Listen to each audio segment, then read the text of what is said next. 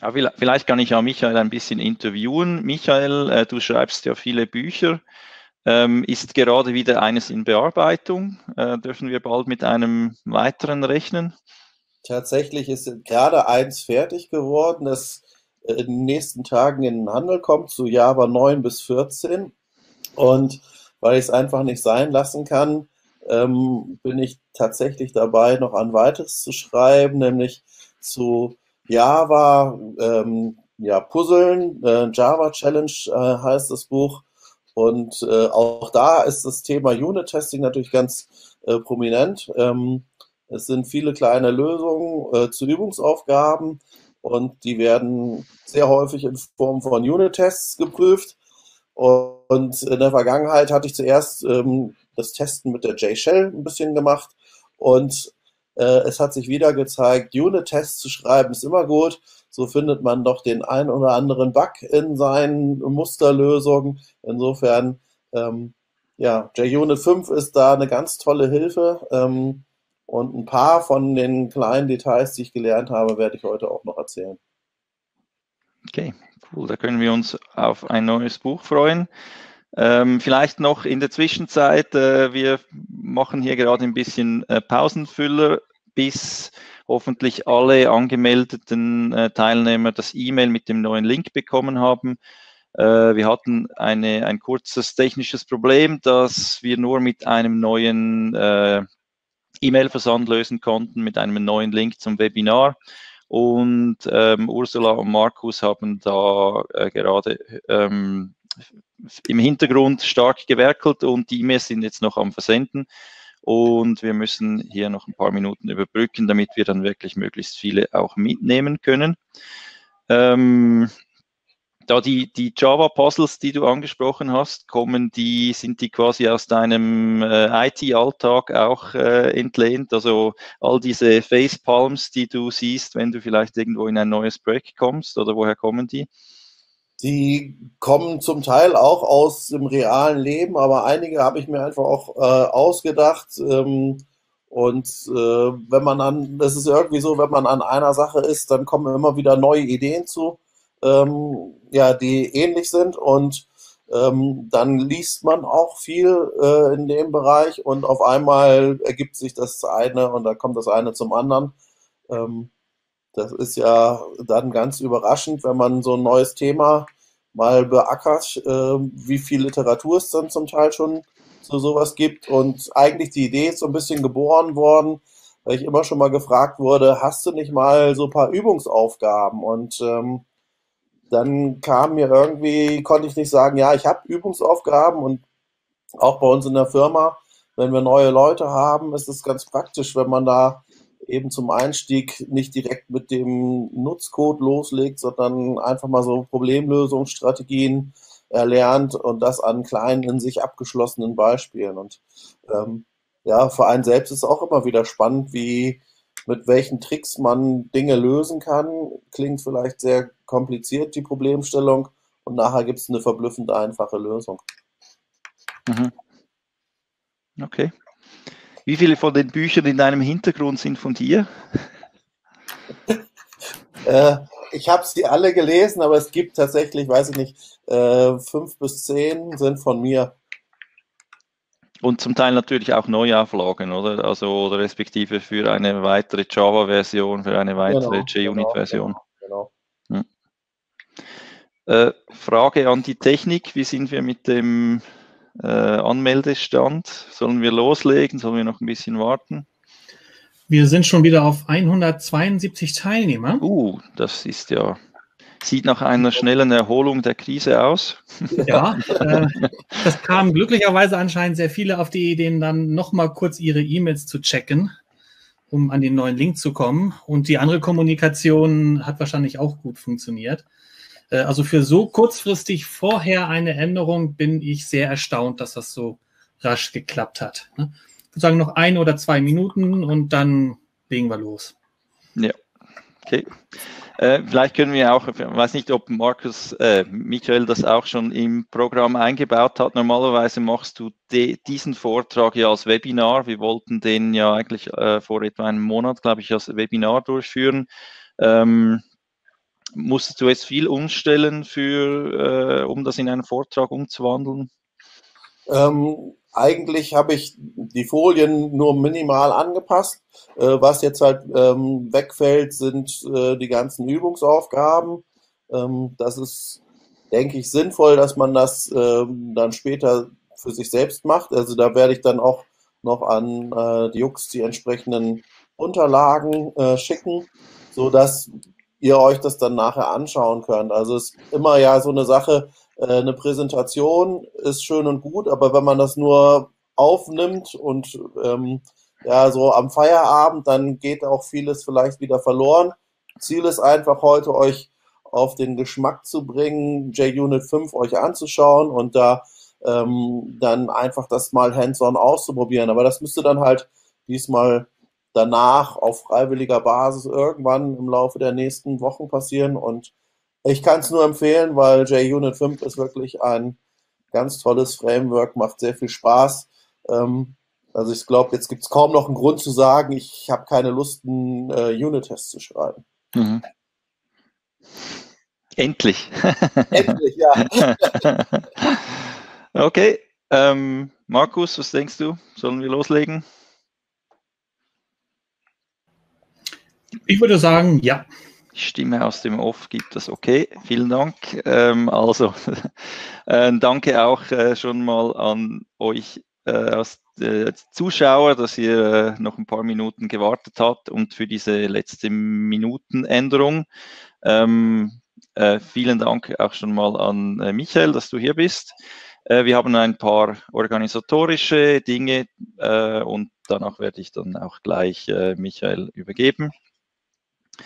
Äh, so geht die Bedienung, genau. Ähm, also vielen Dank, Michael, dass das heute geklappt hat, auch mit der Verschiebung. Leider ist uns da, da ein kleines äh, Ding dazwischen gekommen, das da so durch die Bevölkerung geistert.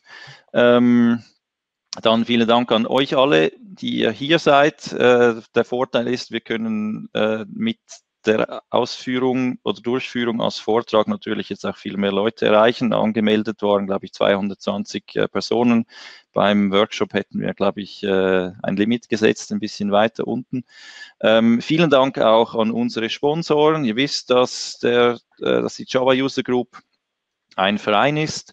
Äh, wir äh, können diese Vorträge durchführen dank eurer Unterstützung als Vereinsmitglieder und äh, vor allem aber auch durch die Unterstützung der Sponsoren. Also vielen Dank auch äh, an euch alle, äh, damit das klappt. Und äh, gerade heute auch vielen Dank an Ursula Buri, die die ganze Administration für uns erledigt, die Anmeldung, die E-Mails im Vorfeld verschickt, die Webseite pflegt.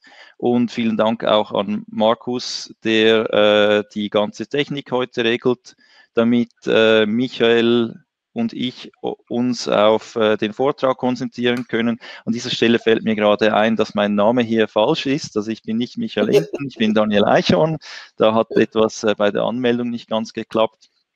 Ähm, genau. Und ähm, ja, wieso machen wir das als Webinar? Ich glaube, inzwischen ist das wahrscheinlich klar. Wir dürften das nicht äh, durchführen äh, mit mehr als fünf Leuten, deshalb sind wir heute äh, virtuell unterwegs. Es ist nicht das erste Webinar, das wir jetzt mit Java User Group äh, gemacht haben seit dem Ausbruch äh, der, äh, dieses Corona ähm, Virus und das klappt in der Regel sehr gut. Ähm, genau, das Online-Format mit Bigmarker, äh, das klappt eigentlich auch immer sehr gut. Ähm, Hinweis, normalerweise in einem äh, Vorort-Meeting würdet ihr am Schluss diesen Papierfragebogen kriegen. Ähm, wenn wir, das, wenn wir dieses Webinar beenden, dann werdet ihr automatisch auf das Feedback-Formular weitergeleitet. Bitte füllt das aus. Das hilft uns auch äh, in Zukunft äh, Dinge besser zu machen, die wir vielleicht gerade nicht so gut gemacht haben. Äh, nehmt euch ein paar Sekunden Zeit und es gibt dann auch eine IntelliJ-Lizenz zu gewinnen am Ende des Monats unter all denen, die, ein, die, die, die das Formular ausgefüllt haben. Auch noch ein Hinweis, wir haben immer etwa 15 Sekunden, also wenn Michael etwas sagt, bis ihr das hört, das dauert etwa 15 Sekunden. Ähm, ist vielleicht wesentlich, wenn ihr äh, Fragen in den Chat schreibt, auf die Fragen kommen wir gleich noch, ähm, dass einfach, dass ihr das wisst, dass wir ein bisschen äh, verzögert unterwegs sind. Dann im Chat, den einige von euch schon rege benutzt haben, könnt ihr äh, Kommentare untereinander austauschen. Äh, das geht nicht äh, per, ähm, hauptsächlich an Michael, äh, sondern ist eher unter euch, wenn ihr etwas austauschen wollt. Dann ähm, haben wir auch den, den Fragen-Tab. Auf Deutsch steht dann Fragen, auf Englisch, wenn ihr Englisch angemeldet seid, steht da QA. Äh, wenn ihr da könnt ihr Fragen stellen, die an Michael gerichtet sind und ich werde dann äh, Michael unterstützen und die Fragen äh, vorlesen. Er wird ab und zu wieder so kleine äh, Blöcke haben, wo wir dann die Fragen anschauen können und äh, die dann mündlich beantworten werden. Ähm, genau, dann äh, gibt es auch, jetzt habe ich vorhin bei, nicht aufgepasst, Michael, hast du Umfragen? Ich glaube, du hast Nein gesagt, oder? Ja, also ähm, ich hätte die vielleicht beim Live-Veranstaltung gemacht, aber ähm, heute, glaube ich, werde ich eher darauf verzichten. Gut, dann äh, überspringen wir das. Und ja, jetzt sind wir auch schon bei dir. Äh, Michael, vielen Dank, dass du heute hier bist. Wir haben vorhin schon ein bisschen ein Spontan-Interview gemacht. Äh, mhm. du hast schon einige äh, Vorträge und ähm, Workshops bei uns, bei CH äh, Open, bei der JOX an, vielen Orten durchgeführt mit vielen Teilnehmern. Also wahrscheinlich kennen dich auch schon viele von unseren Teilnehmern heute und haben dich da schätzen gelernt. Ähm, du bist äh, auch äh, ein fleißiger Buchschreiber. Wie vielleicht die, die schon ganz früh dabei waren, jetzt beim Interview, die haben auch schon gehört, dass du da ein paar neue Dinge im Köcher hast. Du kommst vielleicht dann später nochmal drauf zurück. Ähm, und du bist auch bei Asmic als äh, CTO äh, unterwegs. Und ähm, genau, und heute geht es um äh, JUnit 5. Mhm. Und damit übergebe ich gerne dir äh, die Tanzfläche, die Bühne, genau, das war das richtige Wort. ja, besten Dank. Gucken wir mal, dass wir das alles hier hinkriegen.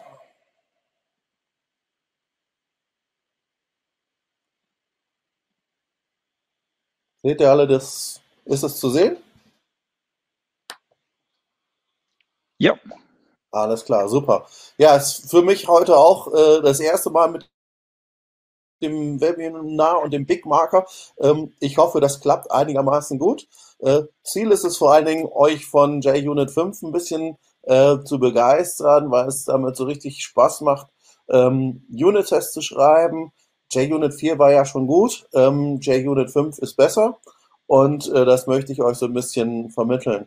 Ähm, du hast mich ja gerade schon vorgestellt, ähm, deswegen ich mache es ähm, heute, weil wir ja schon in Verzögerung haben, ähm, ganz, ganz kurz.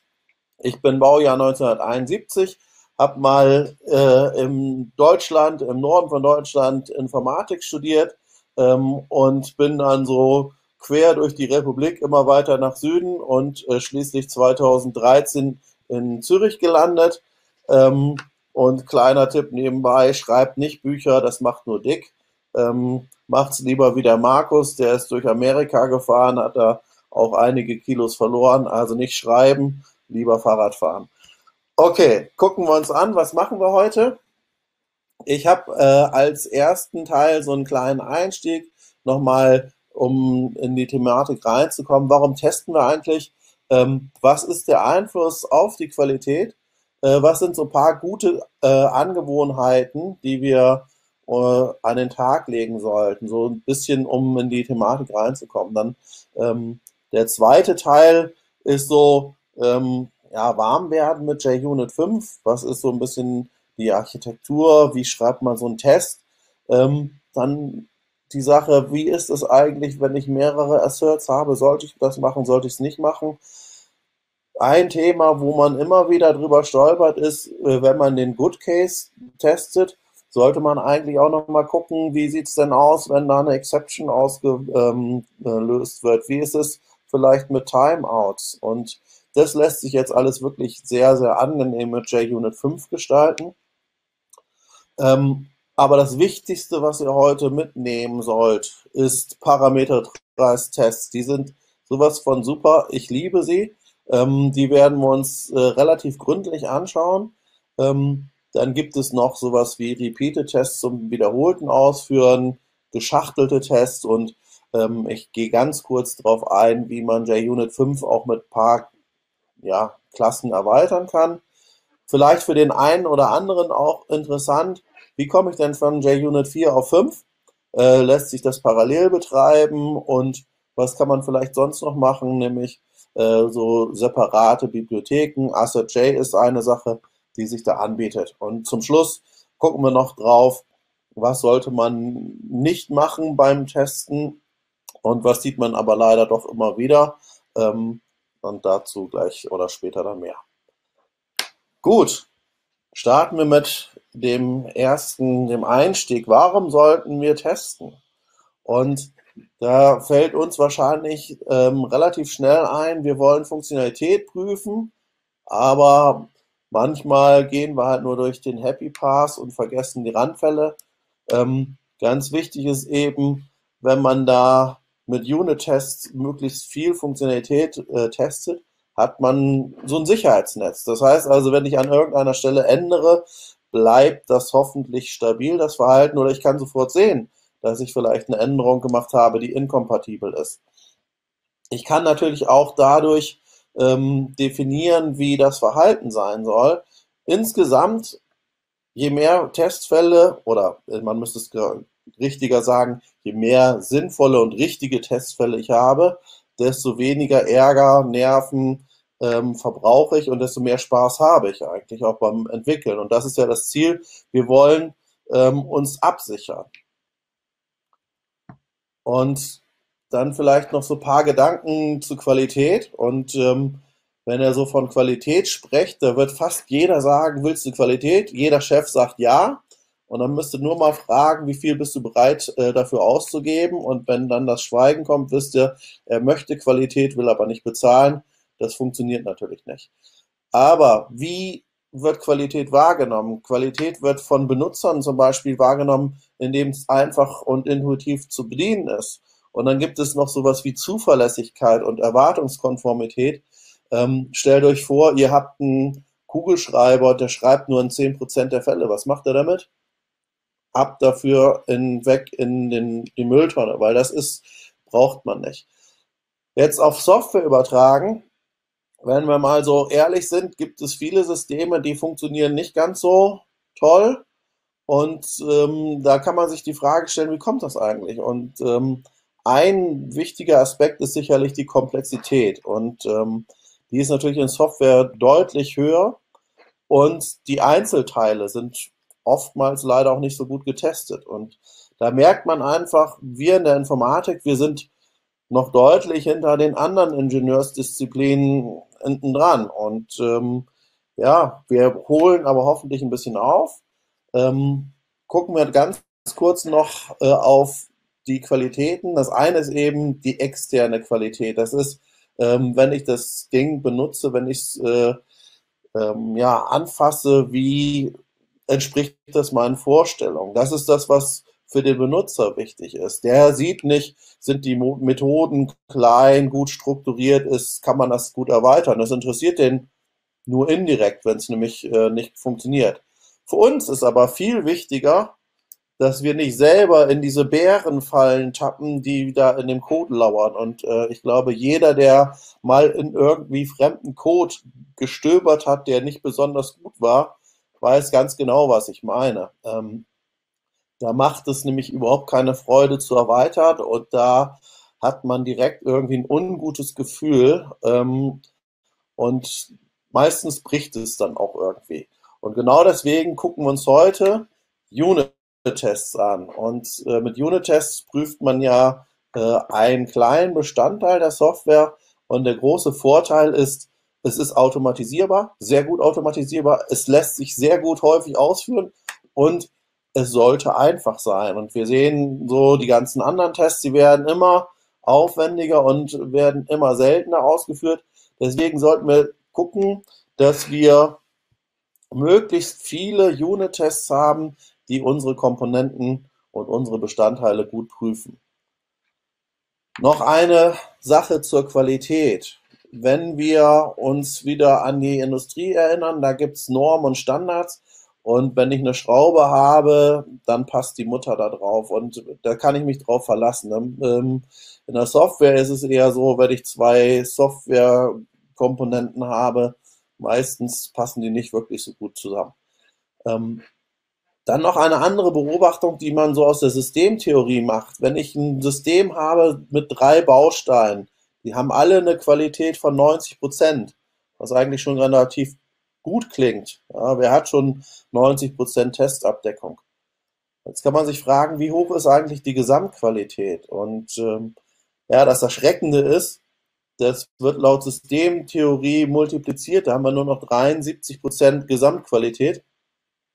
Und wenn wir jetzt äh, dann Software denken, haben wir relativ selten Systeme, die drei Klassen oder drei Komponenten haben, sondern viel, viel mehr. Und die Interaktionen sind meistens auch relativ ähm, umfangreich. Insofern ähm, beobachtet man, je höher die Qualität der Einzelteile, desto höher ist die Gesamtqualität.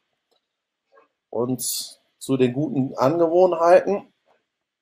Ich empfehle euch, wenn ihr mit Eclipse arbeitet, äh, das Plugin More Unit zu installieren.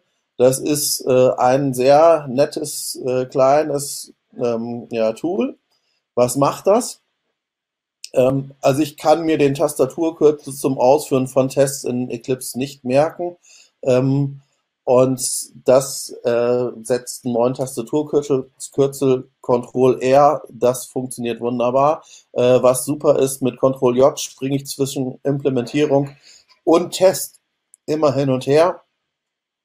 Und eine Sache, die so klein und unscheinbar wirkt, ist dieser Icon-Dekorierer. Wenn da so ein kleines grünes Bällchen an der Klasse ist, wissen wir, äh, zu der Klasse existiert ein Test. Und wenn ich dann einfach in ein Package reingucke und da sind möglichst viele von diesen kleinen Icons, dann weiß ich schon, ähm, das ist einigermaßen gut getestet. Dann sollten wir uns angewöhnen, ähm, ja, dies, das Naming einfach die Klasse ABC, Testklasse ist ABC Test. Ähm, Grund ist, wenn ich das Test ABC nenne, dann, ähm, wenn ich dann noch irgendwas suche, dann ähm, habe ich tausende von Tests, aber ähm, das Wesentliche finde ich nicht. Auch bei den Methoden ähm, hat sich eingebürgert, die mit Tests starten zu lassen, wobei das mittlerweile nicht mehr notwendig ist. Wichtiger ist, dass ihr beim Testen eine sinnvolle Beschreibung des Testfalls benutzt. Und da sieht man, dass wenn man Camel Case benutzt, wie es ja die Java-Notation ist, dass das eigentlich relativ unhandlich wird. Und da hat der Roy Oscherhof ähm, so zwei Sachen vorgeschlagen, nämlich einmal Methodenname, ähm, dann was man testen möchte und was man erwartet. Und da kann man dann so schöne Methoden machen wie calc sum without valid oder with valid inputs Schutz zum up all values oder calc sum throws exception when null input. Da ist relativ klar, was das tun soll. Und mit JUnit äh, 5 wird es sogar richtig nett, weil man da auch ähm, den Testfällen noch weitere Zusatzinformationen geben kann. Dann möchte ich hier nur auf eine Sache oder auf zwei Sachen eingehen. Ähm, ihr solltet nicht versuchen, eure Testabdeckung auf 100% einfach nur zu bringen. Ähm, testet die wichtigen Sachen. Testet nur das, was wirklich ganz relevant ist. Testet keine Getter und Setter. Das ist, ähm, damit bringt ihr die Testabdeckung hoch, aber bringt keinen Qualitätsgewinn. Ähm, wenn ihr einen Test schreibt, möglichst wenig Asserts, möglichst nur ein. Ziel ist es, die Testmethoden kurz, klar und verständlich zu halten. Warum? Weil der Nächste, der drauf guckt, der sollte das verstehen, ohne dass ihr ihm das erklären müsst. Das heißt, ähm, ihr könnt Qualitätssicherung und die Ziele, die wir am Anfang genannt haben, nur erreichen, wenn die Unit-Tests auch so einfach sind, dass sie erweitert werden können. Und wie erreicht man das? Dafür gibt es einen sehr schönen Trick oder ein schönes Hilfsmittel. Da gibt es den AAA oder GWT-Stil. Steht für Arrange, Act, Assert oder auch Given, When, Then. Und was ist damit gemeint? Dass man die Testmethode in drei Blöcke unterteilt. Einmal äh, das Aufsetzen von Randbedingungen, dann die Aktionen ausführen und als letztes die Prüfungen durchzuführen.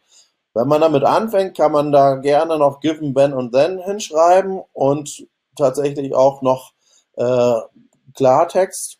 Ähm, vielleicht ist das Source Code aber auch so lesbar, dass sich das automatisch ergibt.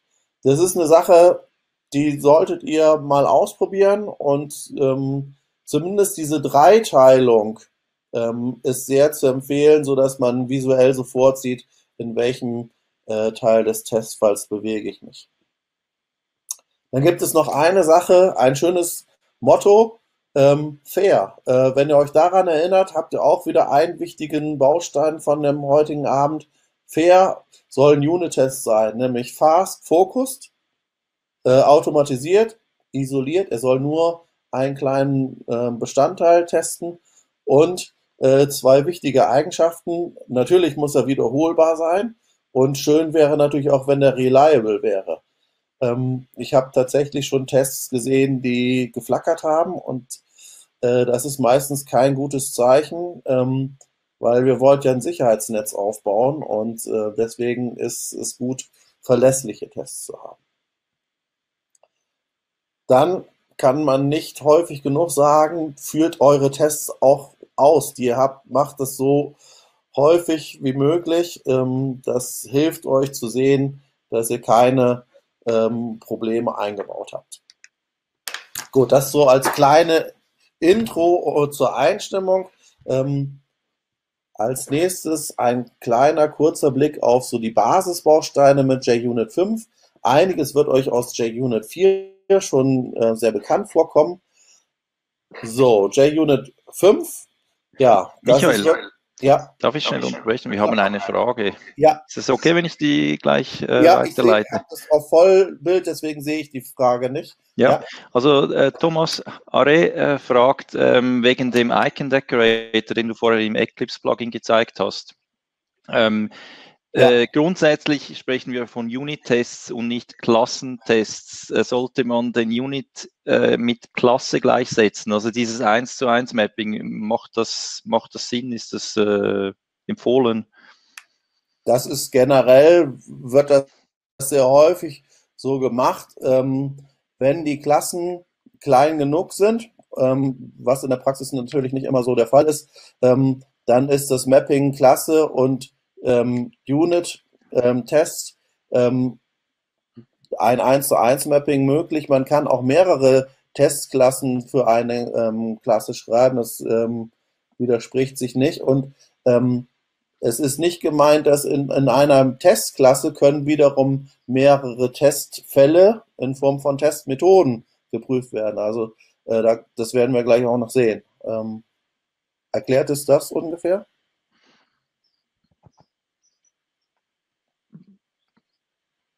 Wir können ja mal, das ist halt jetzt diese Verzögerung, wir können ja mal weitermachen, wenn ja, Thomas dann äh, noch eine Nachfrage hat, können wir die später vielleicht nochmal einfädeln. Genau. Danke.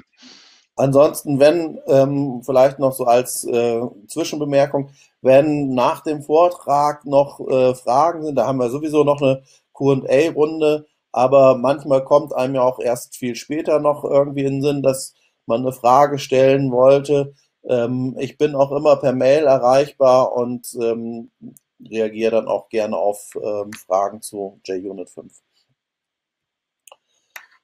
Was man ähm, noch wissen sollte, ist, dass das ähm, JUnit 5 modular aufgebaut ist und der große Vorteil daran ist, ähm, dass wir ähm, eine im Prinzip Plattform haben, um die Unit-Tests auszuführen. Wir haben ein neues ähm, Systemkomponente, die die JUnit 5 Tests ausführt und wir haben eine Vintage Engine, die es erlaubt, äh, sehr viele JUnit 4 Geschichten noch ausführen zu können. Und das ist ein großer Vorteil, werden wir später sehen, ähm, beim Thema Migration. Das ist äh, natürlich unschätzbar gut, wenn man nicht gezwungen ist, komplett von ähm, einer Version auf die nächste zu wechseln, sondern ihr könnt das wirklich Methode für Methode, Schritt für Schritt machen.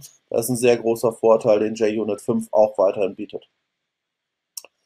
Ähm, wobei ihr dann aufpassen müsst, ist, dass es in JUnit 4 äh, sind die ähm, Assertions im, äh, in der Klasse Assert, in JUnit 5 in der Klasse Assertions. Dadurch seht ihr immer, ob er auch die richtigen ähm, Sachen einbindet. Es gibt halt so ein paar Standards, die man kennt auf Gleichheit, ob äh, Dinge äh, true oder false sind ähm, oder ob irgendwie ein Objekt null oder ähm, die Referenzen gleich sind oder eben ungleich sind oder halt fail, um einen Testfall bewusst fehlschlagen zu lassen. Das sind eigentlich schon wirklich sehr hilfreiche Sachen. Gucken wir ganz kurz auf Beispiele. Ähm, eine Änderung, die sich von 5 ähm, zu 4 ergeben hat, ist, äh, in äh, 4 hat man den Hinweistext immer noch als ersten Parameter gehabt. Das ist jetzt in 5 nach hinten gewandert. Das ist eigentlich ganz praktisch, ähm, damit man, wenn man den Hinweistext äh, hinzufügt, äh, an den Parameterreihenfolgen nichts ändern muss. Ähm, ansonsten ist das, glaube ich, sind die selbsterklärend da. Ähm, die Assertions prüfen einfach hier mit Equals, hier ähm, auf Übereinstimmung und ähm, ja, na, geht er hier nicht. Wieso geht er jetzt nicht ein weiter? Okay. Die Folien hängen gerade. Was ist das?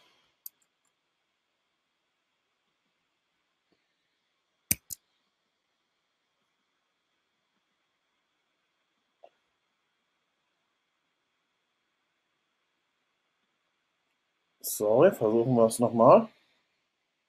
Ah, jetzt geht's wieder. Ähm, okay. Ähm, eine Sache, die mit äh, JUnit äh, 5 auch eine nette Sache ist, wenn ich denn schon so einen Hinweistext ähm, erstelle, ähm, was mitunter eine gute Idee ist, dann kann das zum Teil relativ lange dauern oder ähm, da wird irgendwie eine komplexe Berechnung angestellt. Wenn wir jetzt ähm, das direkt ausführen, dann ist das ja hier ein Methodenaufruf. Wenn wir diesen Test ausführen, warten wir zwei Sekunden darauf auf das Ergebnis. Tatsächlich hätte diese Berechnung natürlich gar nicht ausgeführt werden müssen, weil bei Tim eine Übereinstimmung ist. Mit, ah, das habe ich schon gesagt, was ist daran unschön? Es ist unnötig, das auszuführen. Und das ist jetzt glücklicherweise mit JUnit 5 möglich, hier einen Lambda-Ausdruck, einen Supplier anzugeben und dadurch dauert das Ganze dann halt nur noch so lange wie eben bei der Abweichung ähm, das Aufbereiten dauert. Das ist eine kleine Neuerung, nette Neuerung. Dann eine Sache, die richtig nett ist, die ihr intensiv nutzen solltet. Ähm, ist Add-Display-Name.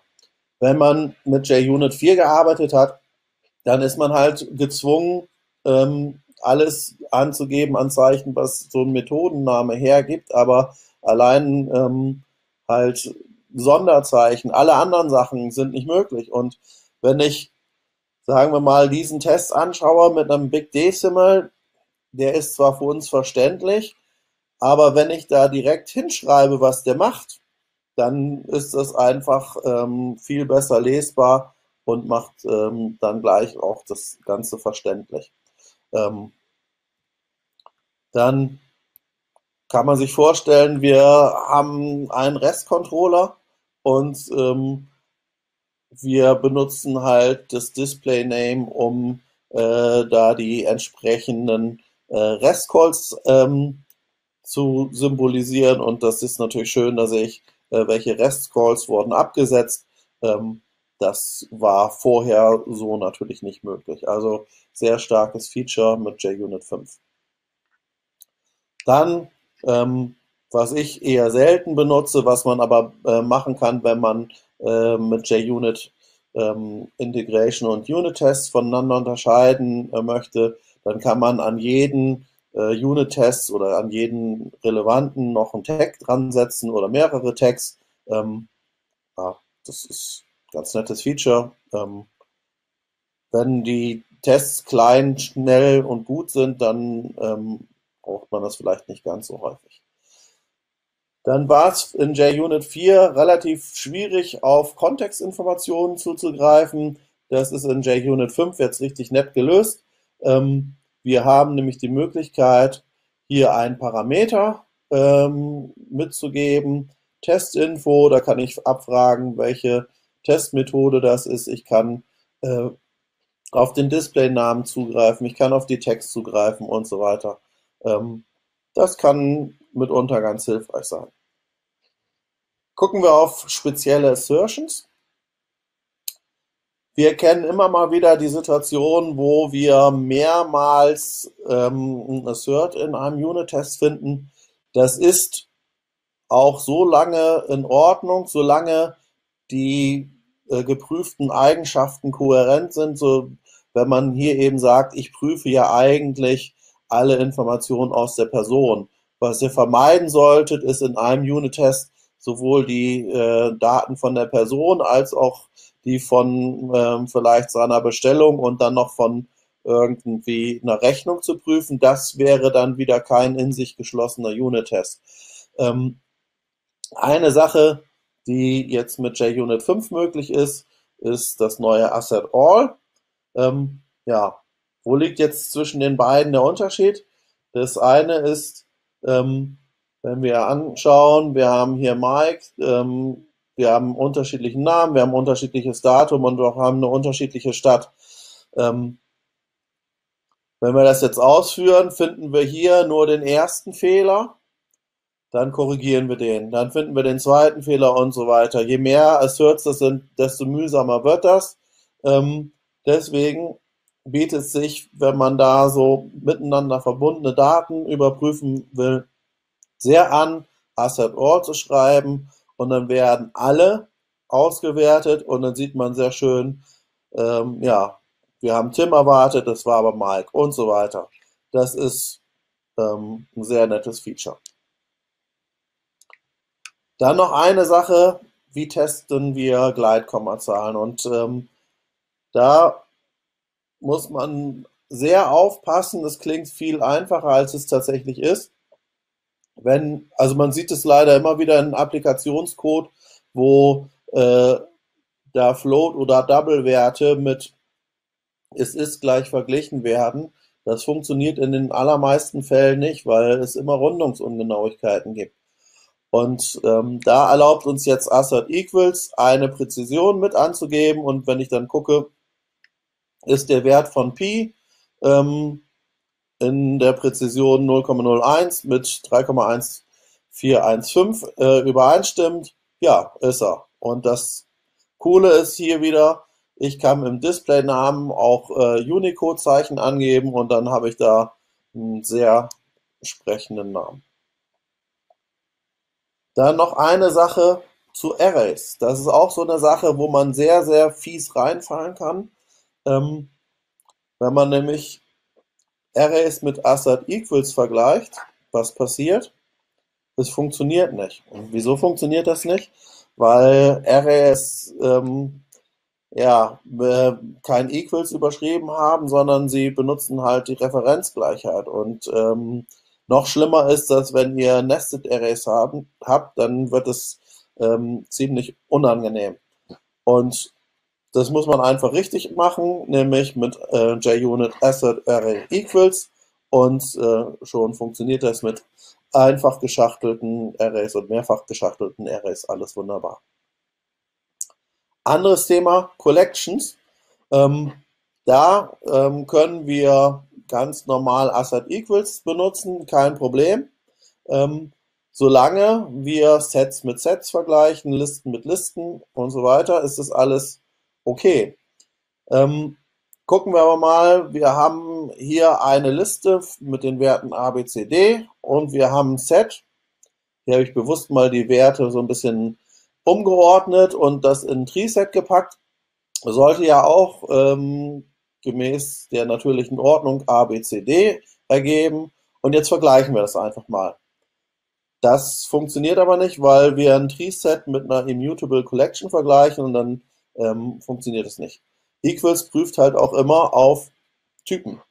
Und ähm, dann sollten wir Assad Iterable äh, verwenden und damit ähm, kann ich dann halt auch Listen und Sets miteinander vergleichen, wenn die, ob die den gleichen Inhalt besitzen. Gut, kommen wir zum Thema Exceptions. Auch eine Sache, die, sagen wir mal, sich von JUnit 3 bis JUnit 5 ähm, sehr, sehr geändert hat. Ganz früher war mal so ein typisches Idiom, ähm, ein Try-Catch zu machen, ähm, ein Fail ähm, als ähm, Auslöser, falls ähm, der erwartete Fall der Exception nicht eintritt und die Expected Exception eben mit einem Asset True zu markieren. Das kann man so machen, ähm, ist aber nicht so richtig schön. Dann mit JUnit 4 kam ähm, die Möglichkeit, dass man in dem Test expected sagen konnte und dann ähm, den Typ von Exception angeben konnte. Das Problematische war, wie komme ich hier an die Exception und wie komme ich an vielleicht einen Text von der Exception und auch dieser Ablauf Arrange, Act, Assert ist hier irgendwie nicht mehr gegeben. Das ist ein bisschen versteckter. Dann wurde mit JUnit 4, 7 oder 11 oder irgendwie auf jeden Fall ein bisschen später noch die JUnit Rule Expected Exception eingeführt. Die beschreibt ähm, halt, dass erstmal angenommen wird, dass keine Exception ausgelöst wird. Dann kann man sagen, ich erwarte eine Illegal State Exception, ich erwarte eine entsprechende Message. Das ist deutlich lesbarer, aber JUnit 5 macht es einfach nochmal einen Ticken besser. Ähm, wie geht das? Ich habe äh, Assad Throws. Ich sage, welchen Typ von Exception ich erwarte. Und wenn ich dann hier so böse Sachen mache, wie ein Big Decimal aus Null ähm, ja, äh, zu konstruieren oder ein äh, Integer mit Null, dann kriege ich halt die entsprechenden Exceptions.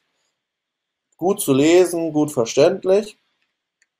Und ähm, Jetzt noch eine Besonderheit. Ich kann, ähm, bekomme da als Ergebnis ein Throwable und wenn ich dann prüfen möchte, zum Beispiel war der Typ der Message ähm, ja, oder enthielt der Not Supported, dann ist es äh, wunderbar lesbar möglich und auch folgt dem Fluss erst die Aktion, dann die Prüfung.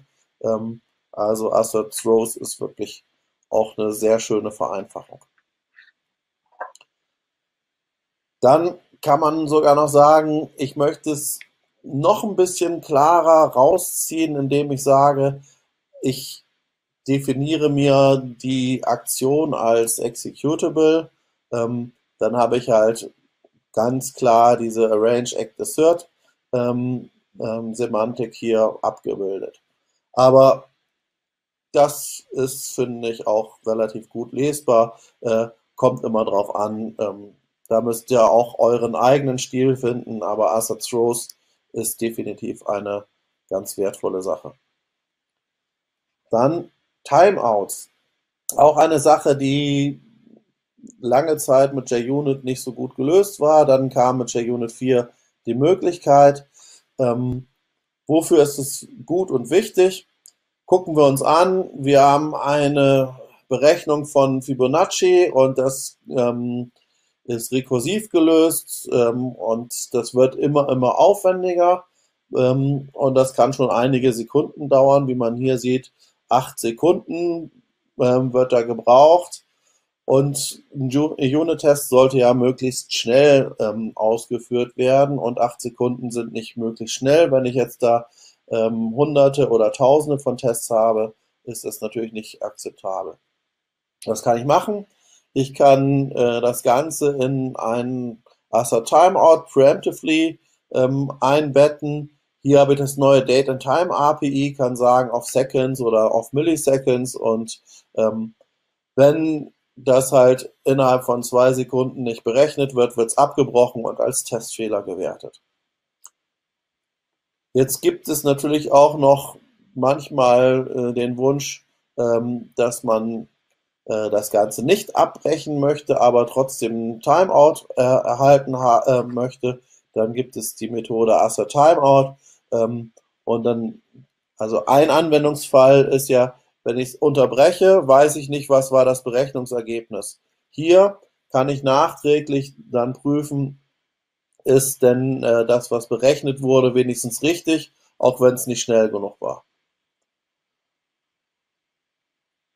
Dann eine Sache, die man gar nicht so zeigen sollte. Ihr solltet eigentlich eure Unit-Tests nie ausschalten, weil ihr habt sie ja geschrieben, um Systemverhalten abzudecken und zu prüfen. Ähm, ganz selten kann man das mal äh, machen, dass man Unit-Test disabled. Ähm, und, aber bitte nie vergessen, das wieder zu enablen, weil ähm, ja, sollen ja ein Sicherheitsnetz bilden. Dann eine Sache, die beim Unit-Testen ähm, vielleicht nicht ganz so wichtig ist, aber wenn man JUnit als äh, Framework benutzen möchte, um ähm, ja, so eine Art Ablauf zu testen oder halt einen Integration-Test zu machen, dann hat man sehr häufig sowas wie äh, die CRUD-Operation und ich möchte dann die einzeln für sich und auch in der Reihenfolge testen. Ähm, dann kann man das über eine Markierung Test Method Order machen und sagen, es wird alphabetisch sortiert. Hm, gibt so den kleinen Trick, äh, mit einem Buchstaben zu starten und dann wird es halt in der Reihenfolge ABC ausgeführt. Die Alternative ist, ähm, das mit einer Order Annotation zu machen und dann wird es halt auch in der Reihenfolge der Order Annotation ausgeführt. Ein abschließendes Wort noch zum ähm, ja, Testreihenfolgen.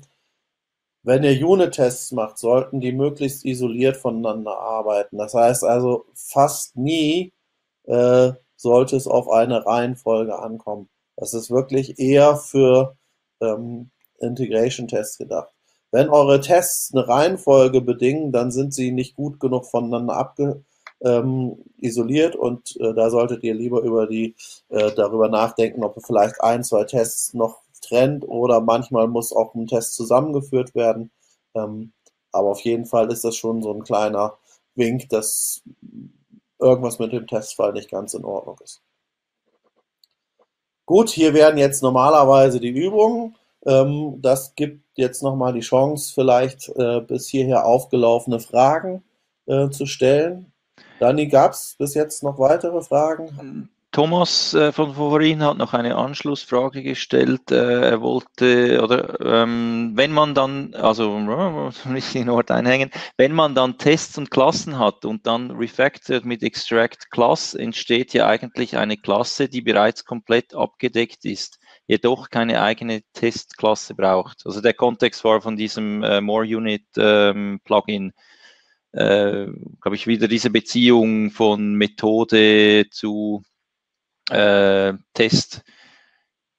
Im, ich habe im Chat auch noch Kommentare gesehen, dass ja auch äh, More Unit, glaube ich, pro Methode ähm, ein, ein Icon dann ähm, hinzufügt.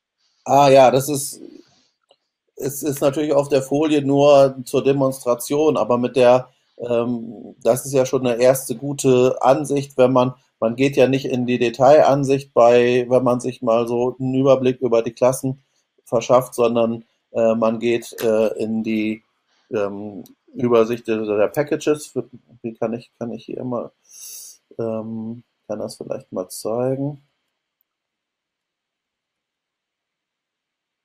Gehen wir mal einfach hier in, sieht man das?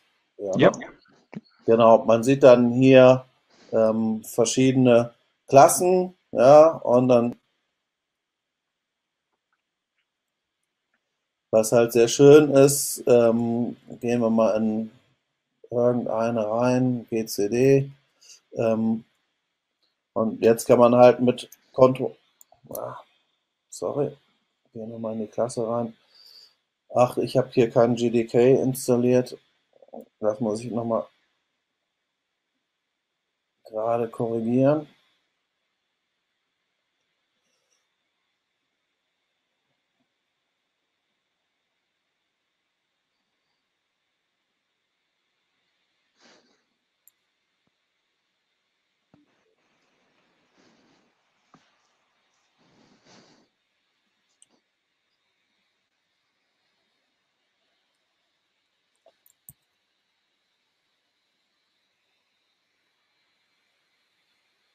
Jetzt braucht er natürlich ein bisschen.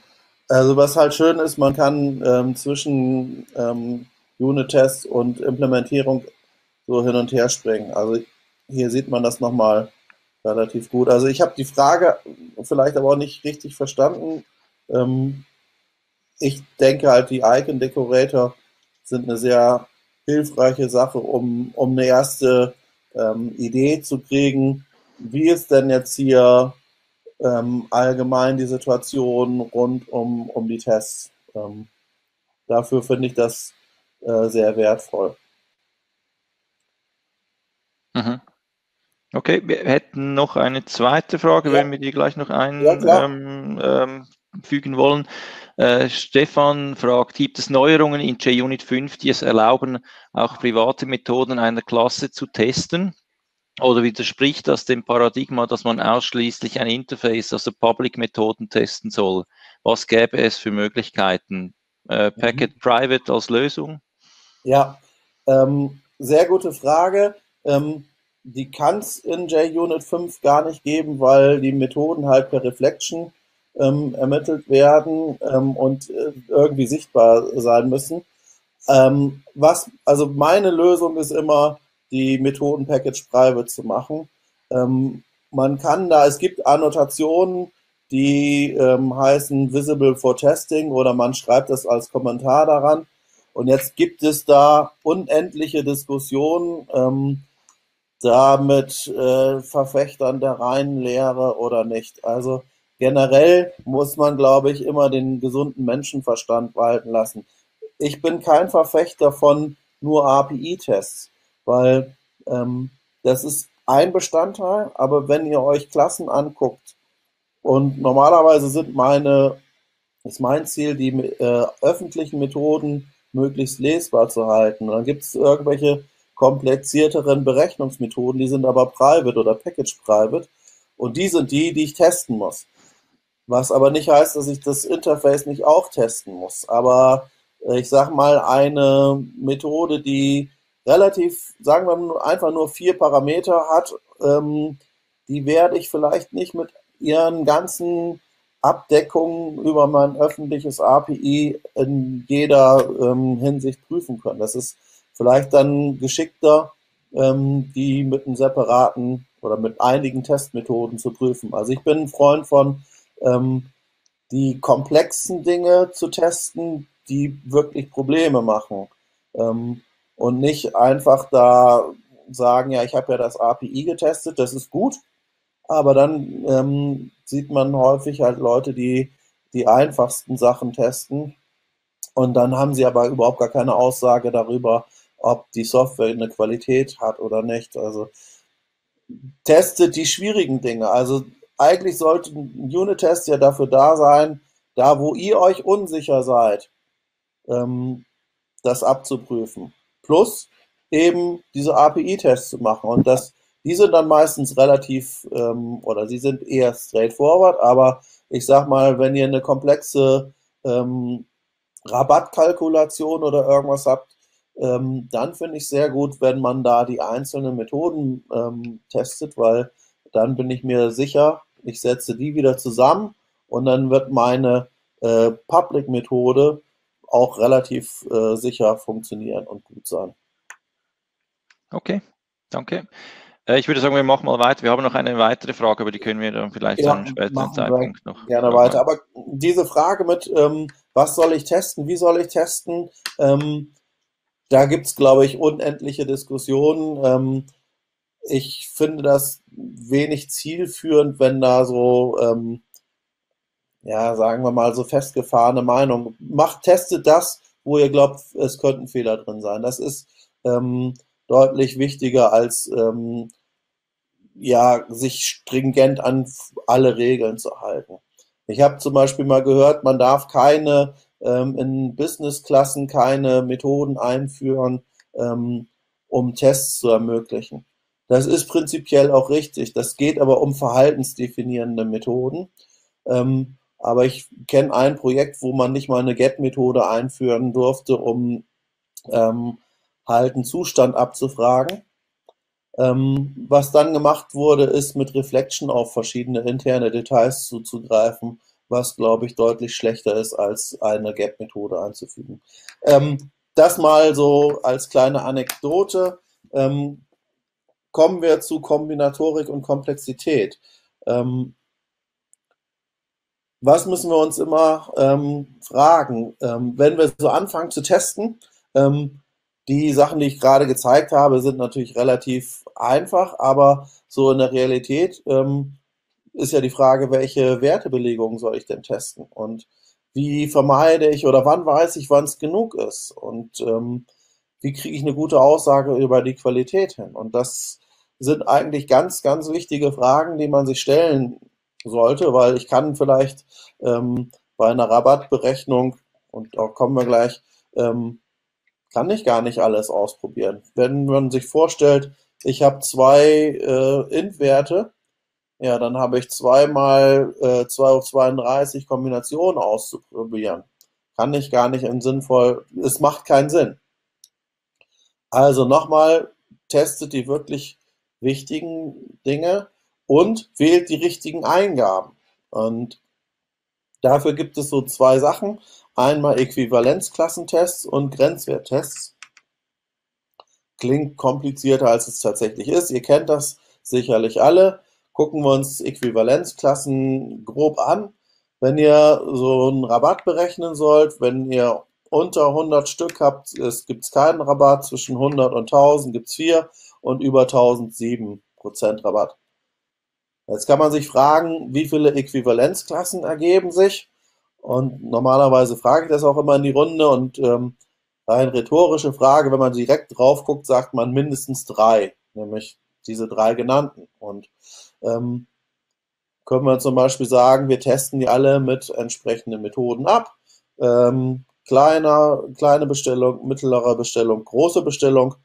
Ähm, das ist schon mal gut. Aber ist das ausreichend? Und wenn man natürlich so fragt, ist die Antwort nein, ist nicht ausreichend. Hm. Markus, kennst du das, dass ab und zu das dann wieder hakt? Ich komme jetzt hier wieder.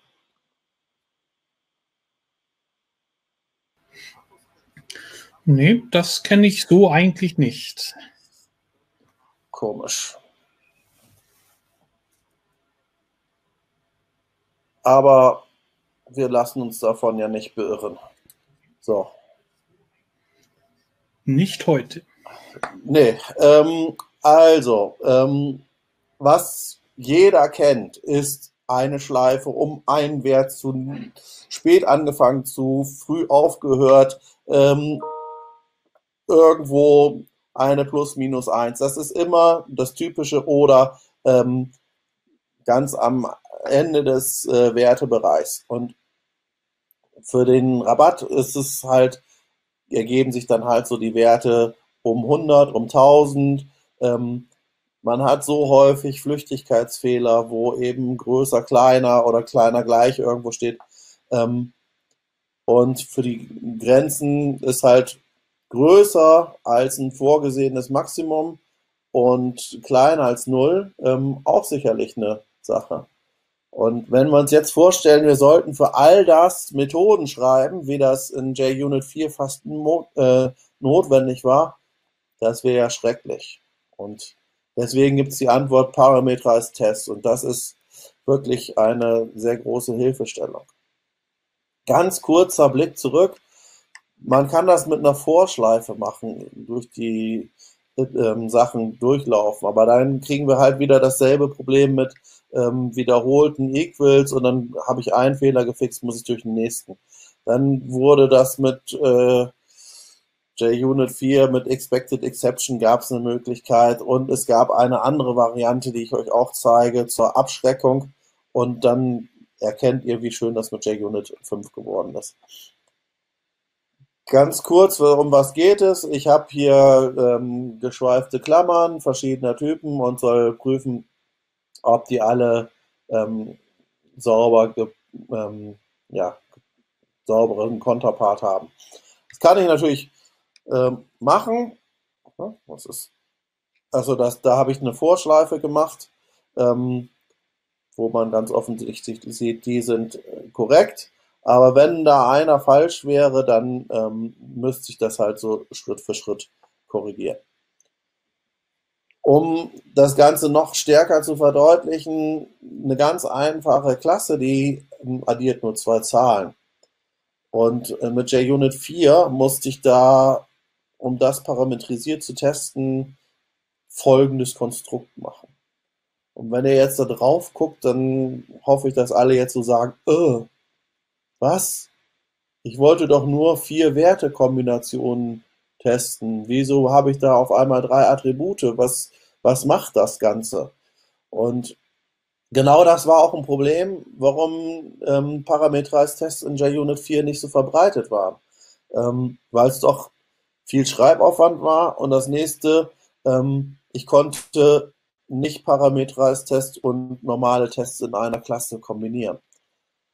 Und also ich habe es sehr häufig nicht so gerne gemocht. Und wie geht es denn einfacher? Und JUnit 5 zeigt es. Es gibt eine Annotation, die heißt Parameterized Test. Ich kann über Value Source ähm, Werte übergeben, kann dann zum Beispiel prüfen, ob das ein Palindrom ist. Ist in beiden Fällen der Fall. Value Source ist das einfachste, da gibt es verschiedene Ausprägungen zu Strings, zu Ints und so weiter. Dann manchmal möchte man ja noch ein paar mehr Möglichkeiten haben. Da gibt es die CSV-Source. Da ähm, kann ich in einem String mehrere Werte komma separiert angeben. Ähm, das wird von JUnit automatisch auf die beiden äh, verteilt. Ähm, da kann man auch zwischen mal Spaces angeben und so weiter. Da ist JUnit äh, 5 wirklich sehr, sehr gut. Man kann da auch beliebig viele Parameter als Eingabe haben. Ähm, das ist schon ein großer Schritt vorwärts. Dann gucken wir uns da weitere Sachen an. Also man äh, geschickterweise hat man immer als ersten oder als letzten Parameter den Expected Wert. Ähm, ich glaube, es ist relativ selbsterklärend. Wenn man jetzt aber so auf die Ausgaben guckt, ist das noch nicht ganz so das perfekteste. Ähm, aber das lernen wir gleich auch noch eine Abhilfe kennen. Ähm, wir können natürlich hier beliebige Typen mixen. Und jetzt sehen wir mit Parameterized-Test und ähm, einem Namen können wir dafür sorgen, dass das alles eine schöne Ausgabe hat und dass der Test ähm, deutlich verständlicher ist als das. Ja, hier, der, der Testfall ist exakt der gleiche. Wir ähm, konkatenieren etwas, ähm, das aber die 5 die Länge ist, ist mit ein bisschen Nachdenken zu erraten. Hier ist es offensichtlich ähm, und gut verständlich. Wenn wir jetzt zurückgehen und gucken, wie müssten wir jetzt diesen Adder da prüfen, ja, machen wir das doch einfach. Wir geben äh, dann drei Werte an. Erster Wert, zweiter Wert, Ergebnis. Und wir können uns das dann ausgeben lassen. Wir haben hier die Möglichkeit, ähm, einfach die durchnummerieren zu lassen. Erster Element, zweites Element, drittes. Und dann haben wir hier eine wunderbar lesbare Beschreibung von dem Unit-Test. Und das ist ein Unit-Test, wo jeder den innerhalb von sehr kurzer Zeit um weitere Wertekombinationen erweitern kann. In dieser Klasse hätten wahrscheinlich einige Leute Schwierigkeiten und würden sich nicht trauen, die Testfälle zu erweitern. Ähm, hier ist es äh, eben genau das Gegenteil. Hier macht es Spaß, weitere Testfälle hinzuzufügen. Aber nicht nur das, es ist halt auch wirklich so angenehm. Ähm, und zwar gibt es da diverse eingebaute Konvertierungen. Wenn ich da einfach so ein ISO-konformes State angebe, dann ähm, wird das automatisch umgewandelt. Und äh, jetzt gibt es immer mal wieder auch die Situation, wo man in den ähm, Werten vielleicht ein Komma hat oder einen anderen ähm, Trenner haben möchte. So kann ich das dann auch einfach angeben ähm, und das zeigt eigentlich die Stärke von JUnit. Ähm, es ist auch möglich, eine sogenannte Message Source zu benutzen. Da ist ähm, eine Methode verantwortlich für die Generierung ähm, der Eingabeparameter. Das kann ich zum Beispiel machen, wenn ich ähm, spezielle Enum und Integer-Werte übergeben möchte. Und dann gucken wir uns jetzt nochmal an, was denn da noch so möglich ist. Also ich glaube, das, was ihr jetzt schon gesehen habt, sollte euch überzeugen, dass Parameter als Test eure Freunde sein sollten. Äh, was jetzt kommt, äh, sollte dann ähm, voll überzeugen. Nehmen wir an, wir brauchen ähm, Listen als Übergabeparameter. Das kann ich natürlich über ähm, CSV nicht mehr abbilden. Und äh, Idee ist, ich habe eine Liste und möchte aus der Liste die Duplikate entfernen. Und wenn ich dann sage, Eingabeliste, Ausgabeliste oder erwartetes Resultat, sehe ich, hier sind Duplikate drin. Ähm, hier habe ich noch eine Sache mit äh, vier Werten reduziert. Ähm, das wird dann automatisch für die entsprechenden Werte ausprobiert und ähm, der Testfall ausgeführt. Ähm, sehr angenehm. Oder CSV-Source. Ähm, nehmen wir an, wir haben ein, mit dem Date and Time API haben wir einen Temporal Adjuster erstellt, der euch den nächsten Gehaltszahltag ähm, ausrechnen soll und ihr sollt das jetzt ähm, überprüfen. Und da startet ihr natürlich immer mit irgendeinem beliebigen Datum und das wird auf den 25. angepasst. Und das Geniale ist, man kann da einfach auch Hinweistexte übergeben. Und ähm, das ähm, ist sehr schön, weil der Hinweistext wird zwar im Testfall nicht benötigt, ich habe ihn als Parameter aufgeführt, kann dann aber sagen, adjust und dann gebe ich dann den Hinweistext, warum denn ähm, eine Aktion ausgeführt wurde. Dann etwas, äh, ja, sagen wir mal, schon mehr Daten. Das sind ähm, relativ viele Werte, die eine Konvertierung von ähm, römischen Zahlen ähm, prüfen sollen. Das wird als CSV-Source relativ ähm, ja, umfangreich und unübersichtlich, wenn wir uns vor allen Dingen vorstellen, dass wir das natürlich nicht nur in die eine, sondern auch die andere Richtung äh, prüfen wollen und dann die Werte nochmal angeben, wäre das natürlich nicht so schön. Deswegen kann ich auch ähm, statt einer CSV-Source eine CSV-File-Source angeben, ähm, verweise dann auf ein CSV, was ähm, im ClassPass liegen muss und man hat bei JUnit auch gleich dran gedacht, dass man normalerweise solche Files auch mit einer ein oder zwei oder mehreren Kommentarzeilen versieht, damit man einfach nicht nur Werte da drin stehen hat. Deswegen ist es möglich, da ähm, gewisse Anzahl an ähm, Zeilen zu überspringen. Also es ist so, wenn man mit diesem Framework arbeitet, ähm, stößt man immer wieder auf Sachen, ähm, wo man denkt, ja, richtig gut gelöst und ähm, kann man wirklich nur empfehlen. Gut, nach den Parametrize-Tests, die hoffentlich genug gewürdigt wurden, ähm, möchte ich noch auf ein paar andere kleine Besonderheiten eingehen. Ähm, und zwar Repeated Tests. Ähm, es gibt die Möglichkeit, Tests mehrfach ausführen zu lassen. Ähm, das kann manchmal nützlich sein, ähm, wenn man das eher als Integration-Test sieht und da ähm, das okay ist, wenn äh, einzelne Aufrufe mal ähm, entsprechend nicht zuverlässig sind und man aber da ähm, sagt, wenn ich drei aus zehn ähm, Fehler habe, ist es vielleicht tolerabel.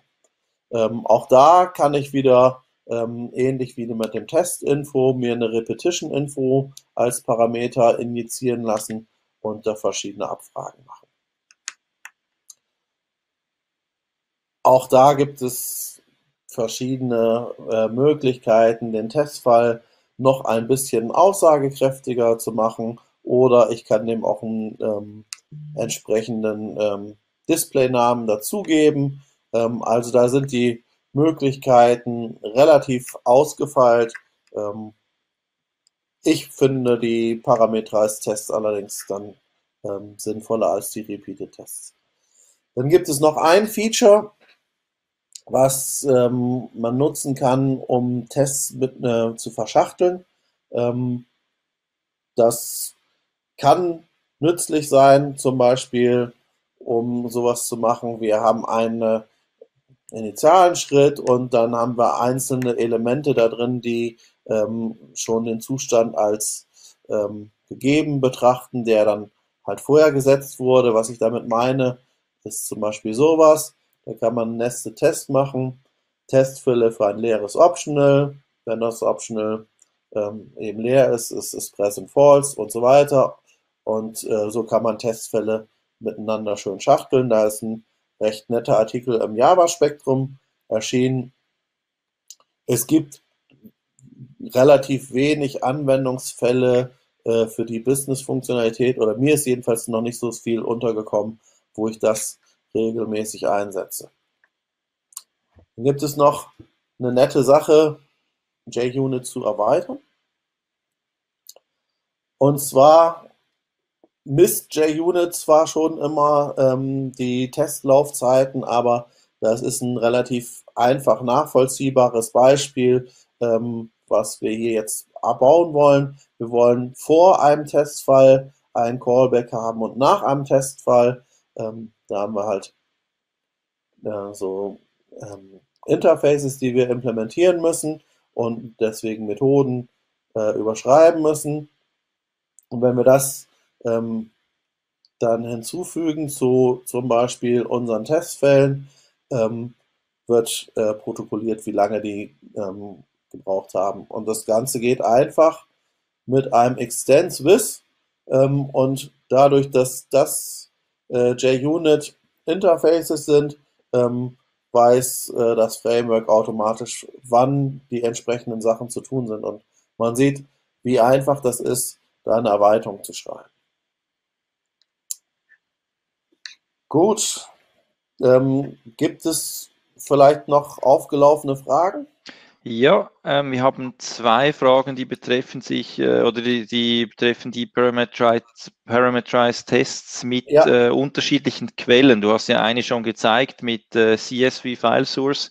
Kann ja. man das zum Beispiel auch mit äh, JSON verwenden oder Datenbank oder irgendetwas anderes? Was ist, äh, hört das mit äh, CSV auf oder geht das, gibt es noch andere Optionen? Also eingebaut ist erstmal nur CSV, ähm, aber man kann sich natürlich auch da ähm, vielleicht so, also dann passt ja vielleicht sogar das, so ein äh, wäre mal eine interessante Sache, dass man ähm, so ein Callback drumherum macht, der vielleicht die Sachen auspacken kann. Habe ich noch nicht gemacht. Ähm, weil ich den Fall noch nicht hatte. Ähm, was man aber definitiv machen kann, man kann Argument-Konverter äh, schreiben, die es einem erlauben, ähm, halt auch andere Formate als äh, CSV einzubinden. Also da muss man auch dann einzelne Klassen äh, schreiben. Das ist aber nicht, nicht so sehr viel äh, Arbeit, solche Argument-Konverter ähm, zu schreiben. Das ist möglich. Ähm, JUnit 5 ist da ähm, relativ erweiterbar. Aber standardmäßig CSV. Okay.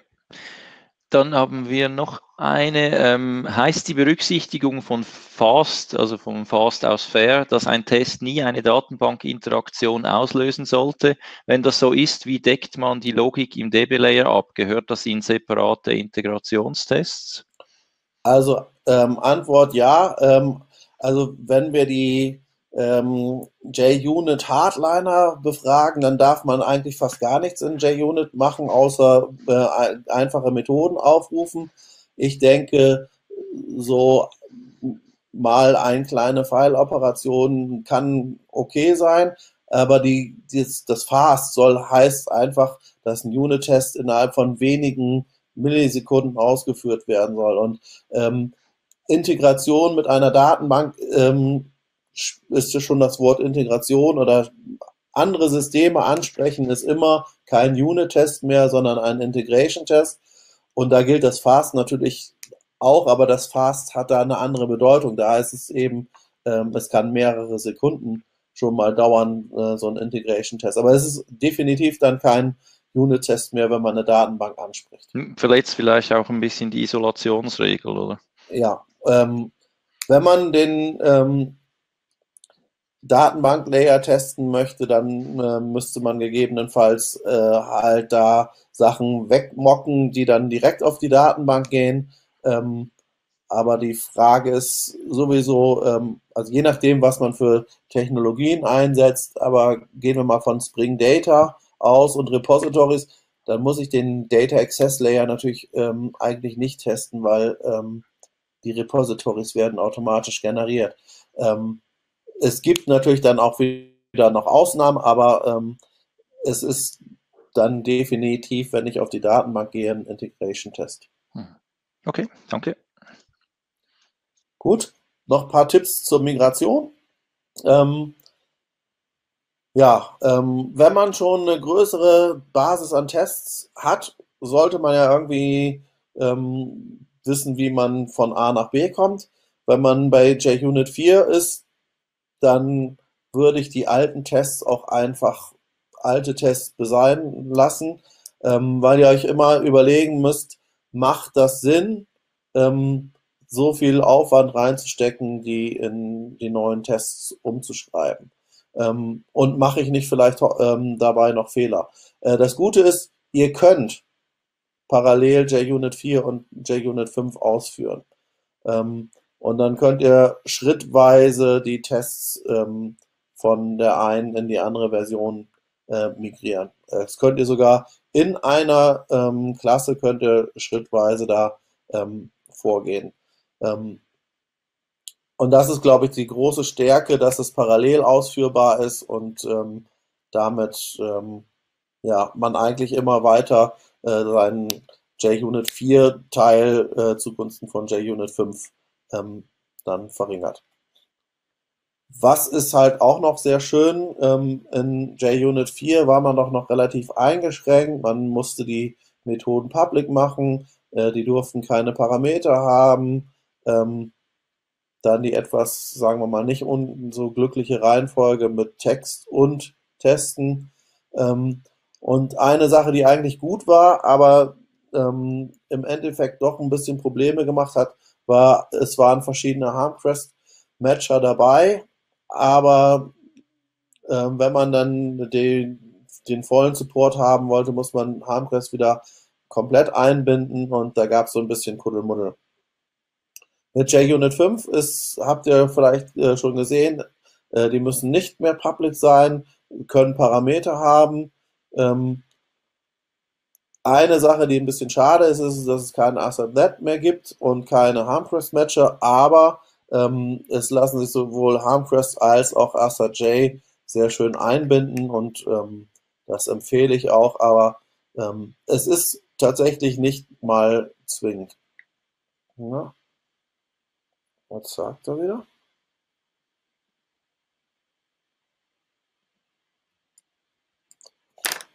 Das ist ja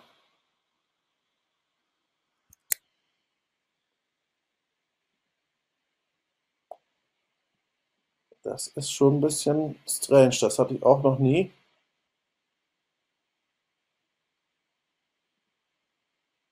Das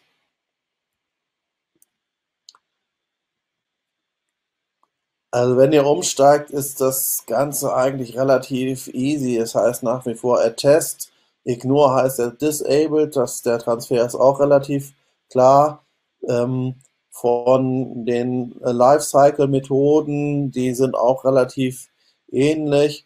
Was man wissen muss, ist, dass es keine Rules mehr gibt in JUnit 5, aber es gibt viele andere Möglichkeiten, die das Leben leichter machen. Insofern ist es keine große Einschränkung. Ähm, was ihr halt machen könnt, äh, so ähm, brutale Methode, einfach alle Imports löschen und dann ähm, die Imports neu organisieren äh, in so einer Testklasse dann und auf das neue umbiegen und dann die entsprechenden ähm, ja, Testaufrufe anpassen. Ähm, wenn man, das sollte man allerdings erst machen, nachdem man ein bisschen Erfahrung gesammelt hat, ähm, dann ist der Umstieg aber relativ ähm, straightforward.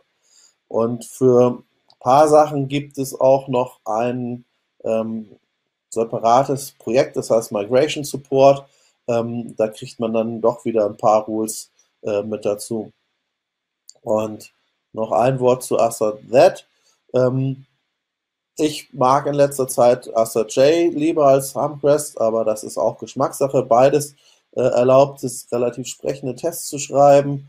Ähm, es ist eine Abhängigkeit, die ihr in äh, eure Bildfiles ähm, aufnehmt. Ähm, und dann kann man relativ lesbare Tests schreiben. Ist eben nicht mehr Assad equals, sondern wirklich Assad that Peter is equal to Peter, ähm, was halt ein englischer Satz ist. Oder was auch schön ist, Assad that irgendeine Zahl is equal to with precision ist schon ein bisschen besser als das Assad equals, ähm, wo ich dann die Präzision angebe. Aber ähm, da geht es dann halt wirklich darum, noch das letzte Quäntchen Lesbarkeit in die Unit-Tests reinzubringen. Ähm, gute Tests kann man auch schon mit JUnit 5 schreiben. Wo wirklich man sieht, dass es nochmal, sagen wir mal, die Lesbarkeit gesteigert wird, ist bei Collections. Wenn ich da nämlich fragen kann, ist not empty, contains, starts with oder halt auch eine Kombination aus denen, oder noch schöner, Assad J erlaubt das Chaining von diesen Methoden. Dann habe ich da relativ lesbare Tests. Und ja, richtig schön wird es dann zum Beispiel bei Maps.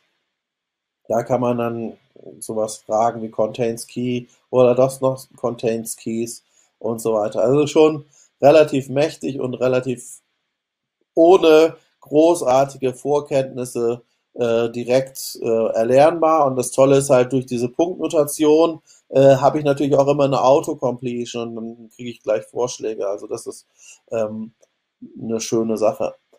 Dann eine andere Sache, die auch nett ist, man kann auch prüfen, ob ähm, Collections äh, gemäß einem so, ähm, Comparator sortiert sind. Ähm, das lässt sich dann doch auch relativ schön gut lesen. Ähm, Exercises gibt es natürlich jetzt nicht, aber ein paar Test-Smells wollen wir uns noch angucken als letztes. Ähm, ja, da gibt es eigentlich den besten Tipp, ist Folge deiner Nase ähm, oder Folge deinem Bauchgefühl. Jeder Entwickler, der so ein bisschen ähm, länger dabei ist, der, wenn er so ein Stück Code sieht, egal ob das Business Code ist oder Testcode, ähm, man hat so ein Gefühl, ähm, macht es darin Spaß zu arbeiten oder macht es da nicht Spaß zu arbeiten. Ähm, ähnliches Thema ist APIs. Da hat der Lukas Eder auch ganz tollen Vortrag, warum wir einige APIs lieben und andere hassen. Ähm, sehr äh, gut, wenn ihr da irgendwann mal ihn auf Ajax oder anderen ähm, Konferenzen seht, unbedingt hingehen in den Talk. Sehr unterhaltsam.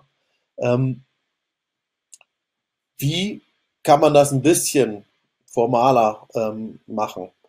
Ähm, wie bei Applikationscode ist es auch bei Testcode so, wenn ihr das schwierig schreiben könnt, wenn ihr es schwierig erweitern könnt, wenn da so ganz merkwürdige Sachen sind ähm, oder wenn wir sehr viele Abhängigkeiten haben und die irgendwie weggemockt werden müssen, ähm, dann ist das irgendwie kein besonders guter Testcode.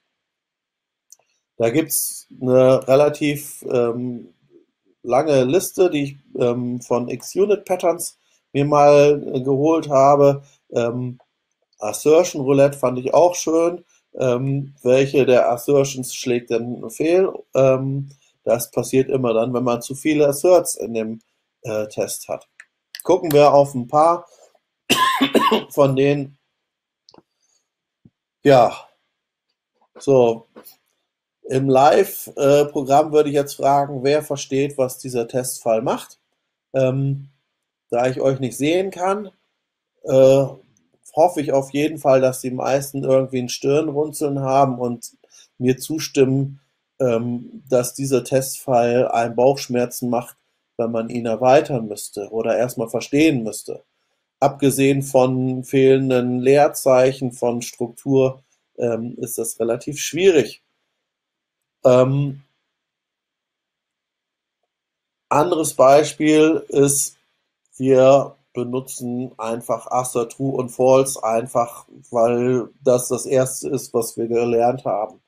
Ähm, das kann man natürlich machen, aber wenn jetzt irgendeins von diesen Sachen fehlschlägt, dann wisst ihr nicht, ähm, was denn der erwartete Wert war. Und ähm, das ist tatsächlich ähm, Testcode, den ich mal so gefunden habe und wo ich mich relativ lange durchkämpfen musste, bis ich das alles dann umgeschrieben hatte, um dann ähm, festzustellen, was denn den eigentlichen Fehler ausgelöst hat. Ähm, benutzt Assert Equals ähm, und dann kriegt ihr sofort die Abweichung und könnt direkt reagieren. Dann noch ein Beispiel eben dieses Assert True wieder. Wir haben ähm, drei Objekte und wir sind da munter am Vergleichen mit äh, ist es gleich und so weiter. Ähm, ja, schreibt doch dann das hin, was ihr vergleichen wollt. Es gibt in JUnit 5 und auch davor eben Methoden, die euch sagen oder die euch ausdrücken lassen, was ihr denn testen wollt. Also assert not null, sie haben die gleiche Referenz oder sie sind vom Content gleich. Ähm, der Tippaufwand ist minimalst geringer, der der Verständlichkeit ist um Längen größer. Dann anderes Beispiel, eben zu viele Asserts. Und ähm, ja, da kann man, es ist, gibt so eine Faustregel, äh, vielleicht äh, drei bis fünf Asserts sind ähm, okay.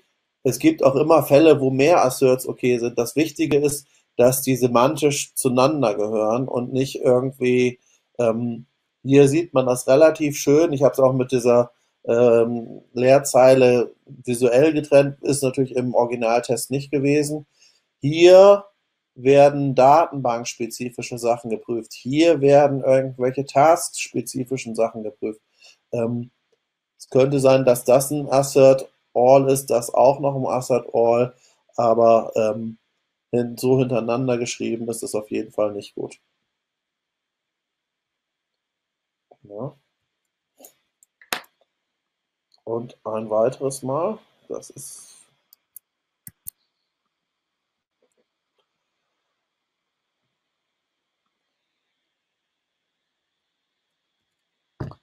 So, ähm, der letzte Test-Smell, ähm, den ich leider auch ähm, im Produktivcode gefunden habe, ähm, ist der Vergleich auf ähm, einer textuellen Darstellung.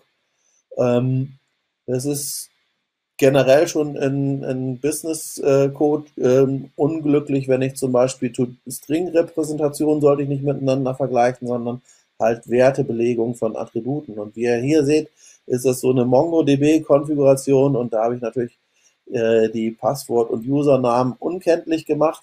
Aber was sieht man hier? Hier werden verschiedene Werte geprüft und man hofft, dass äh, die DB Connection das auch in genau diesem Format ähm, so ausgibt.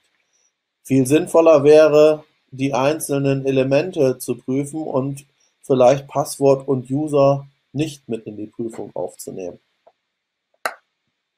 Gut. Dani, gibt es noch Fragen? Im Moment haben wir keine. Wir können vielleicht noch äh, den Zuschauern noch ein paar äh, Sekunden geben, ob sie noch Fragen stellen wollen. In der Zwischenzeit lassen wir dich mal einen Schluck nehmen. Äh, wie wie geht es dir nach dem äh, Vortrag? Also erstmal vielen Dank schon bis hierher. Ja, ähm, schön. Ähm, was ich schade finde, aber können wir ja ohne ähm, Ansteckungsrisiko eben nicht machen. Diese visuelle Interaktion finde ich immer ganz schön, weil man live ist es einfach nochmal schöner äh, zu, weil dann auch die ja, Leute eher fragen und ich glaube, man da auch besser noch drauf eingehen kann. Ansonsten hat es mir viel Spaß gemacht. Ich hoffe, ich konnte ähm, bisschen motivieren, dass das sehr sinnvoll ist, mit JUnit 5 Tests zu schreiben und ähm, dass das auch testen kann, Spaß machen, ähm, wenn das Framework das Richtige ist. Und ich glaube, äh, mit der Version 5 äh, sind wir endlich da, wo, wo wir hätten schon hinkommen äh, sollen, viel früher. Mhm. Ja, es wird sicher, Tests werden so sicher viel lesbarer und eben das Schreiben selber auch äh, weniger ähm, äh, man muss sich weniger äh, die, in die Backe beißen, um das wirklich zu machen. Wir haben äh, zwei Fragen in der Zwischenzeit. Äh, ja. Thomas fragt, sind bereits Pläne für JUnit 6 bekannt? Weiß ich nichts von. Ähm, ich verfolge immer nur, dass äh, jetzt in den letzten Monaten äh, die Versionsupdates kommen. Also wir sind mittlerweile bei Version 5.6.2. Ähm, und da wird ordentlich immer noch irgendwie unter der Motorhaube geschraubt. Ähm, ich bin mir nicht sicher, ob es da demnächst was geben wird. Ähm, aber ich denke, das ist schon, so wie es jetzt ist, ist es schon ein großer, äh, guter Schritt. Ähm, aber die Frage, die vorhin kam, ähm, könnte man nicht JSON-Support bringen? Das wäre, finde ich, auch eine Sache, die cool wäre, wenn das so ein automatischer Argumentkonvertierer wäre, weil wir haben ja gesehen, Local Date und verschiedene andere Sachen werden so automatisch ähm, überführt und das ist einfach nur genial, wenn man da irgendwie einen Text hinschreibt und das könnte ja dann auch ein JSON-Objekt sein und das wird dann automatisch in irgendwie ein Java-Objekt konvertiert. Aber kenne ich bis jetzt auf jeden Fall noch nicht, aber vielleicht schreibt ja jemand mal äh, nach diesem Workshop oder dieser, äh, diesem Vortrag genau sowas und äh, verteilt das mal in der Java-User. Ja, und vielleicht kommen ja auch äh, so Änderungen wie SRJ dann irgendwann mal in, in JUnit 6 äh, direkt rein. Wäre ja auch ja. nochmal eine Vereinfachung. Dann haben wir nochmal eine Frage von äh, Stefan.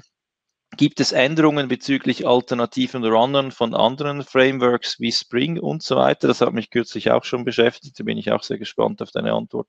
Ähm, also für die Migration von JUnit 4 zu JUnit 5, was muss man da mit den Runnern? Gibt es die Runner noch? Sind die ähm, irgendwie anders? Die, das wird irgendwie anders gelöst, aber da ähm, man braucht keine Runner mehr. Das wird irgendwie anders gelöst, aber ich bin mir da nicht so mehr so sicher. Ähm, ich führe das eben meistens im, nicht im Kontext von den Frameworks aus, äh, sondern eben wirklich auf Unit-Test-Ebene. Aber äh, das müsste ich nach, nochmal nachgucken. Da bin ich, ähm, kann ich jetzt gerade nicht perfekt eine Antwort drauf geben. Also würdest du quasi als, als ähm, äh, Nebenkommentar auch sagen, vielleicht, wenn man äh, das im, im Spring-Kontext testen möchte, äh, vielleicht ist das auch schon ein Indiz, dass man etwas über den Unit-Test hinaus äh, schießt. Oder vielleicht auch den Code an der Test anders hätte schreiben können. Aber das ist nicht, also auf jeden Fall ist JUnit ja nicht nur ein Framework für Unit-Testing, sondern auch für Integration-Tests und insofern ist das durchaus auch in Ordnung, das zu machen. Aber ich benutze dann immer die Spring-Annotation, ähm, aber ich bin jetzt nicht ganz sicher, wie das mit diesen Runnern da im Hintergrund passiert. Mhm. Okay, gut. Ja, vielen Dank für diese Frage. Ähm, dann haben wir im Moment keine weiteren Fragen mehr. Dann würde ich sagen, dann gehe ich äh, über zum äh, zum Abspannen quasi die Credits. Ich habe hier gerade noch mal zwei, drei äh, kurze Folien. Ähm, oh, dann gehe ich gehe ja, wieder zurück. Ähm, ja. genau. Ähm, wenn ihr noch ein bisschen mehr zum Unit-Testen äh, wissen mögt, ähm, empfehle ich euch äh, mein Buch. Ähm, allerdings könnte man da auch bis zum Herbst warten, weil da wird es eine fünfte Auflage geben, die sich mit JUnit 5 äh, beschäftigen wird. Ähm, und ansonsten hatten wir vorhin schon im Vorspann mal kurz drüber gesprochen. Ich kann es mal wieder nicht sein lassen, weitere Bücher zu schreiben. Ähm, zu Java 14 gibt es was, was in den nächsten Tagen rauskommen wird. Und wer gerne kleine Programmieraufgaben löst und auch ein bisschen was zu JUnit 5 lernen möchte und wie man das halt für seine, äh, fürs Prüfen kleinerer Funktionsbausteine nutzen kann, dem lege ich das Buch Java Challenge ans Herz. Das wird wahrscheinlich im Spätsommer rauskommen. Ja, das ist jetzt hakt's wieder. Dann kannst du jetzt übernehmen. Gut. Ähm,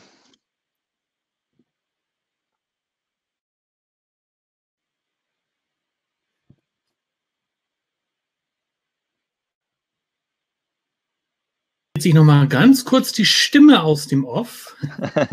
ähm, Im Chat, da wurde äh, reiflich auch diskutiert und da gab es einen netten Hinweis vom Reto, dass es den Arguments Provider gibt, über den man eigene Sources für parametrisierte Tests implementieren kann. Ja, genau, dann habe ich das falsch gesagt. Nicht Argument Converter, sondern Argument Provider. Ja, sorry, genau. Das könnte für die anderen Zuschauer sicherlich noch interessant sein. Okay. Danke, äh, Markus, für die Stimme aus dem Off. ähm, vielen Dank, Michael, für den tollen Vortrag. Ähm, ja, schade, dass wir das nicht als Workshop durchführen können. Ich glaube, da gibt es sicher noch mal eine Chance, wenn dann dieser ganze kleine oder große Wahnsinn sich wieder etwas gelegt hat, dann laden wir dich gerne, wenn du, wenn du uns noch magst und wenn du noch magst, äh, gerne wieder mal zu einem Workshop ein äh, und freuen gerne. uns dann darauf, auch äh, mit dir bei Pizza und ähnlichen Dingen über äh, die Java-Themen äh, zu Fach zu simpeln. Ähm, vielen Dank auch an euch, an die Teilnehmer, dass ihr äh, aus eurem Homeoffice bei uns dabei wart, äh, in einer etwas anderen Form einmal.